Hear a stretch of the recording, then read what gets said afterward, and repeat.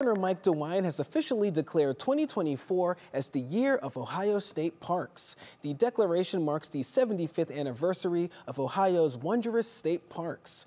Governor DeWine says he wants to emphasize the state's commitment to preserving natural spaces and expanding outdoor activities. One of Ohio's most notable parks is Hocking Hills, but a little closer home here in Cleveland, there's Punderson State Park and Headlands Beach State Park.